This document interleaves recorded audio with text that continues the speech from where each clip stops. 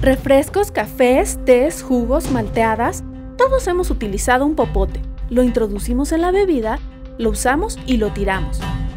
Un popote por bebida por persona utilizado una vez y después desechado. En este video te contamos cuáles son sus pros y contras y por qué existe un movimiento antipopotes.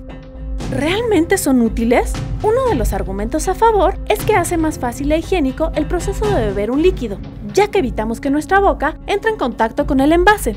Pero, ¿es tan difícil beber directamente de la botella o del vaso? En cuanto a la higiene, basta con limpiar el envase antes de ponerlo en contacto con tus labios. Bueno, pero ¿cuánto daño puede hacer? Mucho. No, ese es shampoo. Ahora. Oh, man. Show me, show me, please. I want to.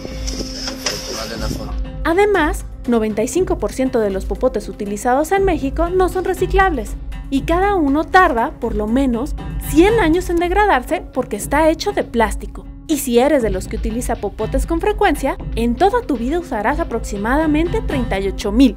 En todo el mundo son utilizados 500 millones cada día. El Foro Económico Mundial prevé que en el año 2050 haya más plástico que peces en el mar.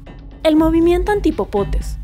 En México inició el año pasado, pero sus antecedentes vienen de Estados Unidos, en donde un niño de 9 años promovió una campaña para que los restaurantes no le dieran popotes a todos los clientes, sino solo a los que lo solicitaran. Poco después, Reino Unido inició la campaña Straw Wars, que consiste en ofrecer popotes y entregar uno biodegradable exclusivamente a quienes lo pidan. En México, el movimiento antipopotes se ha promovido en redes sociales y en algunos restaurantes que incluyen en su menú la leyenda. Ayúdanos a deshacernos de este invento contaminante y muchas veces inútil.